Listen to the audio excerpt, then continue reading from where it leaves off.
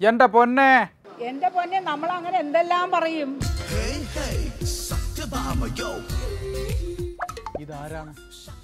സത്യഭാമേച്ചീന അറിയില്ല.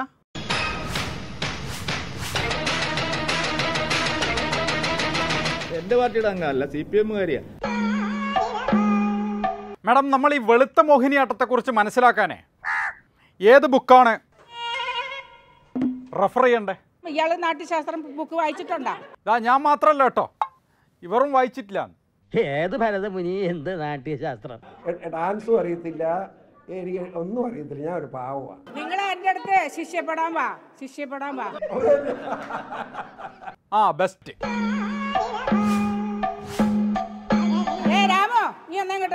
രാമുവിനെ വിളിച്ചതുപോലെ രാജഭരണകാലത്തെ ഓർമ്മിപ്പിക്കുന്ന വിധത്തിലുള്ള ഒരു വിളി എവിടെയോ കേട്ടിട്ടുണ്ടല്ലോ. മോഹൻ. മോഹൻ. അപ്പൊ ഇന്നത്തെ ഡാൻസ് തുടങ്ങാം.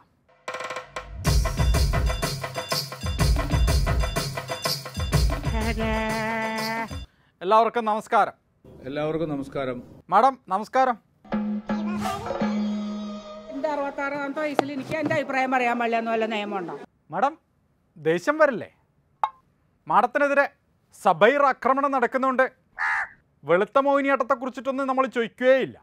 ഒരു മര്യാദയും മാനദണ്ഡമൊന്നുമില്ല. ഞാൻ എന്റെ സ്വന്തം അഭിപ്രായത്തിന് സംസാരിച്ചു. ഇയാൾ കണ്ടു കഴിഞ്ഞാൽ ഓക്കെ മാഡം. എന്തൊക്കെയാണ് നൃത്തലോകത്തെ വിശേഷങ്ങൾ അതെ പട്ടിയുടെ വാലിലും ഭരതനാട്യപ്പോ. അറിയോ? അറിയോ? അറിയോ? ഇല്ല അമ്മക്കറിയില്ല. ഇങ്ങക്ക് ഇതൊക്കെ എങ്ങനെ അറിയാ?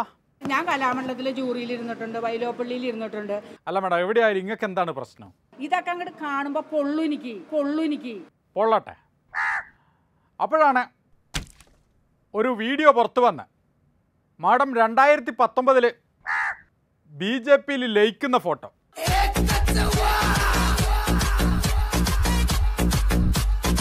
അല്ല ഇവർ ബി ജെ പി ആണോ? ഇല്ല ഞാൻ പങ്കെടുത്തില്ല. ഇവരേത് പാർട്ടിയാ പിന്നെ? ഒന്നാന്തര സഖാത്തിയ. അത് മറച്ചു വെക്കാൻ ഞങ്ങളെ തലയിലിടുകയാണ് മാഡം ബി ജെ പി തള്ളീന് കേട്ടോ? നിങ്ങളുടെ സർട്ടിഫിക്കറ്റ് എനിക്ക് വേണ്ട. വേണ്ടേ വേണ്ട. നിക്കടോ നിക്കടോ. നൃത്തലോകത്തെക്കുറിച്ച് നന്നായി അവഗാഹമുള്ള ഒരു കലാകാരൻ ഈ വിഷയത്തിൽ അഭിപ്രായം രേഖപ്പെടുത്താൻ വേണ്ടി എത്തിയിട്ടുണ്ട്. ആരാണ് ആ കലാകാരൻ? P C George. എന്താണ് കലാരൂപം?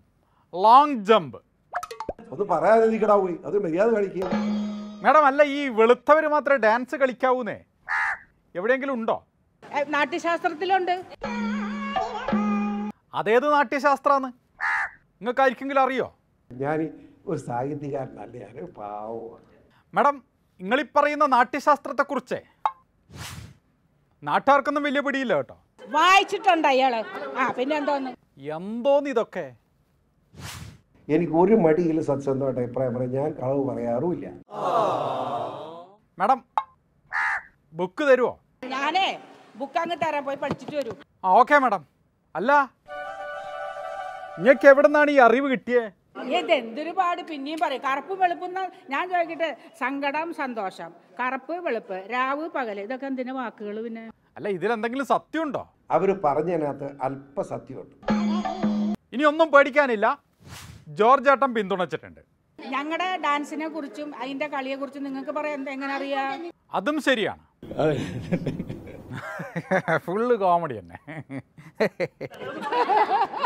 അല്ല ജോർജ് ഏട്ട എന്താണ്? നിങ്ങൾ ഈ മാടത്തിനെ പിന്തുണക്കാൻ കാരണം? സത്യസന്ധമായിട്ട് പറയണ്ടേ അതുകൊണ്ട് പറഞ്ഞത്.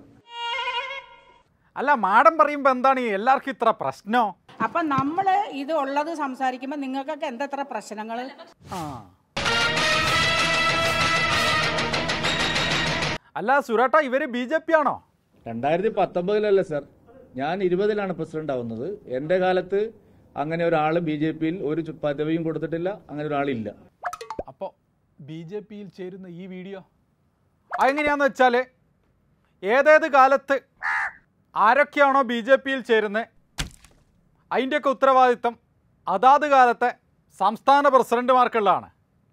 അല്ലാണ്ട് പിന്നീട് വരുന്ന പ്രസിഡന്റുമാർക്കൊന്നും ഒരു ഉത്തരവാദിത്വം ഇല്ല. എക്സ്പയറി ഡേറ്റ് കഴിയും. മട നിങ്ങൾ ബി ജെ പി ചേർന്നതിന്റെ എക്സ്പയറി ഡേറ്റ് തീർന്നു തോന്നുന്നു കേട്ടോ. നല്ല നല്ല നല്ല നയിക്കട്ടെ ഞാൻ പറയട്ടെ. ഇയാൾ മിണ്ടായിരി മിണ്ടായിരി. മാഡം ഇത് ലാസ്റ്റ് അല്ലേ? ഇത് ലാസ്റ്റ് ആണ്. ഇനി ഞാൻ കഥ കടക്കും ഇനി നമുക്ക് ജോർജിന്റെ നിരീക്ഷണം ഒന്ന് നിരീക്ഷിക്കാം. ഒരു നല്ല സുന്ദരിയായ ചെറുക്കൻ ഒരു പയ്യൻ വന്ന് ഒരു പാട്ട് പാടുന്നു. ഒരു രസം തോന്നുന്നു. ആ പാടി. ഒരു കറുത്ത പെൺകുട്ടിയെ പറ്റി സ്വാഭാവികമായിട്ട് വെളുത്ത പെണ്ണിന് പ്ലസ് ഉണ്ട് ഇരുപത്തിയൊന്നാം നൂറ്റാണ്ടെന്ന് പതിനഞ്ചാം നൂറ്റാണ്ടിലേക്കുള്ള വണ്ടി മാറിക്കേറിയ അപൂർവം ചിലരിൽ ഒരാൾ. അപ്പോൾ ചെയ്യേണ്ടത് എന്താ? എന്താ ചെയ്യേണ്ടതെന്ന് വെച്ചാൽ നിങ്ങൾ എത്രയും പെട്ടെന്ന് ബസ് ഇറങ്ങുക. എന്നിട്ട് തിരിച്ച് ഇരുപത്തൊന്നാം നൂറ്റാണ്ടിലേക്കുള്ള ബസ് പിടിക്കുക. ആ കറുത്ത പെണ്ണി നല്ലവണ്ണം മേക്കപ്പ് ചെയ്തുകൊണ്ട് അവിടെ നിന്ന് നടത്തിയേക്കാം അപ്പോൾ കുഴപ്പമില്ല. ഇതാണ് എന്റെ അഭിപ്രായം. അയ്യോ സത്യഭാമ മേഡത്തിനെ സപ്പോർട്ട് ചെയ്യാൻ.